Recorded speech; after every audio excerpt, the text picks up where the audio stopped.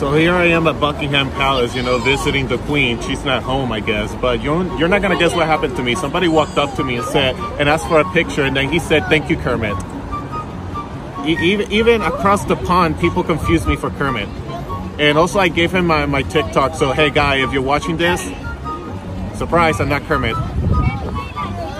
Where's the Queen?